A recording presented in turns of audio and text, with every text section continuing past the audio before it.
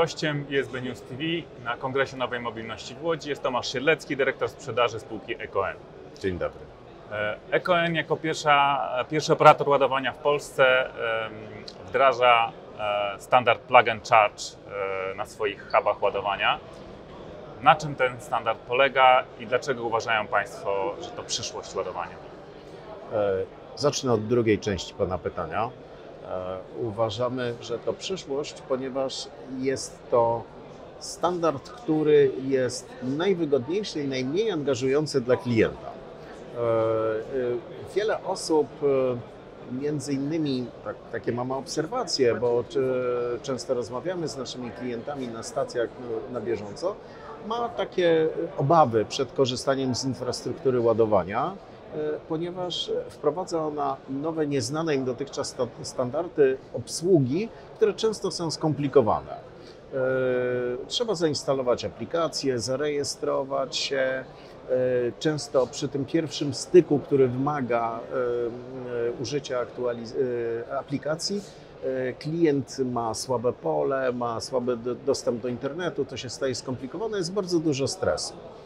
E, Plug and Charge natomiast jest takim systemem, który zdejmuje całkowicie czynności z barków e, klienta, który wystarczy, że wetknie wtyczkę w auto i w tym momencie cała reszta dzieje się automatycznie. I tu przychodzimy do pierwszej części Pana pytania, czyli co tam się dzieje automatycznie. E, e, Dzieje się tam automatycznie taka rzecz, mianowicie e, w aucie jest zainstalowany cyfrowy certyfikat, który wskazuje na to, że to auto może korzystać z plug and charge'a. Podobna, podobny certyfikat znajduje się w ładowarce. Te certyfikaty ze sobą rozmawiają wtedy, kiedy operator, czyli właśnie w tym wypadku my, umożliwi taką komunikację poprzez wdrożenie standardu plug and charge u siebie. E, I kiedy rozmawiają ze sobą, sprawdzają swoją aktualność, ważność e, i e, to, czy to jest tam cyfrowy komunikat, jest mocno szyfrowany, żeby zapewnić bezpieczeństwo. Jeżeli następuje komunikacja pomiędzy tymi certyfikatami, to wówczas w sposób automatyczny konto, które wybiera klient, czyli konto dostawcy usługi ładowania, czyli mówiąc e, m, po- naszemu mobile operator, e, czyli jakakolwiek sieć roamingowa by to nie była, e, e, w sposób automatyczny przekazuje płatność e, wówczas do operatora stacji ładowania, bez żadnej ingerencji ze strony klienta. Żeby taki system był możliwy, oczywiście konieczna jest współpraca operatora ładowania, producenta ładowarki i producenta samochodu. Tak. W przypadku y, operatora i producenta y, ładowarek, no to jest y, w Państwa przypadku oczywiste. Natomiast jaka część samochodów elektrycznych obecnych w tej chwili na polskim rynku umożliwia korzystanie z tego standardu? E, Nie znam tej liczby, ile dokładnie w tej chwili to umożliwia. Jeżeli chodzi o marki, które i modele aut, które wspierają system plug and charge, e, jest ich coraz więcej i ta liczba bardzo dynamicznie rośnie. E, mm, Natomiast e, w Polsce e, trzeba jeszcze ten e, standard plug and charge w aucie faktycznie uruchomić i upewnić się, że producent wgrał nam certyfikat, bo to właśnie producent auta jest odpowiedzialny za certyfikat. Niestety jeszcze, taka jest moja obserwacja, producenci y, nie traktują tego standardu, być może dlatego, że żaden polski operator go jeszcze nie wdrożył, jako obowiązującego i y, z wyjątkiem y, niewielu marek, tak jak Ford, na, któ- na którym prezentujemy, po prostu trzeba pojechać do dealershipu i poprosić o zainstalowanie tego certyfikatu. Czyli jest to możliwe już w Jest to możliwe, tak? Natomiast wydaje mi się, miał szczerze ocenić to, że w tej chwili z łącznej liczby aut elektrycznych, które jeżdżą w Polsce, to pewnie w tej chwili około 1%, może dwóch. Na pewno będą to pojedyncze liczby aut, które mają faktycznie zainstalowane plug and charge. Natomiast to jest ta zła wiadomość, ale ta dobra wiadomość moim zdaniem jest taka, że patrząc na dynamikę e, rozwoju tego standardu w innych krajach, to i u nas on się rozwinie bardzo, bardzo dynamicznie. No właśnie, czy wierzy Pan, że standard plug and charge e, może być powszechnym standardem ładowania w przyszłości i jaka, jakiego rzędu to jest perspektywa czasowa?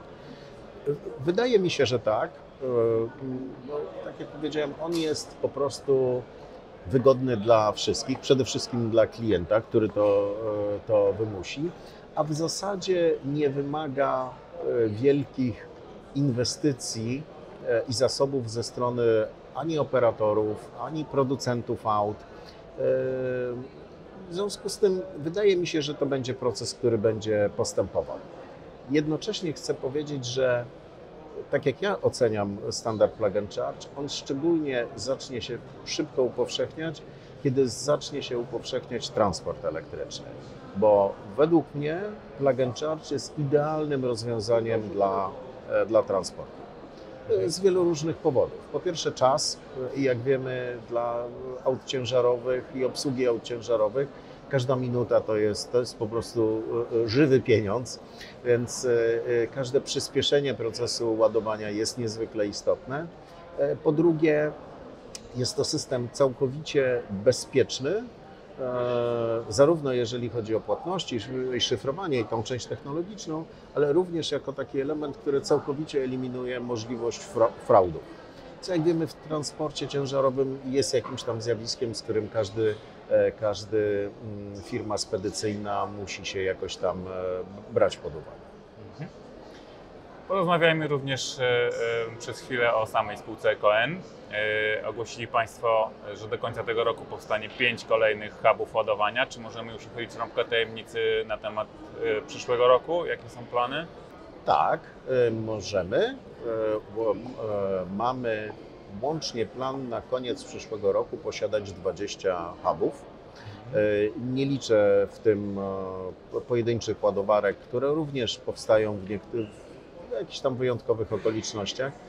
My jesteśmy firmą, która rzeczywiście specjalizuje się przede wszystkim w e, tych e, hubach e, wielostanowiskowych o bardzo wysokiej mocy. Chcemy mieć 20, wszystkie będą w największych, w największych miastach Polski, ze szczególnym naciskiem na Warszawę. Mhm. I łączna moc tych hubów może wynieść? Łączna moc tych hubów wyniesie niecałe 25 MW. Co, biorąc pod uwagę, że pod koniec 2022 roku całkowita moc wszystkich ładowarek w Polsce wynosiła e, nieco ponad 70 MW, to dość szybko zwiększymy tą, e, tą e, po- pojemność, tą, tą moc. Bardzo dziękuję za rozmowę. Ja również serdecznie dziękuję.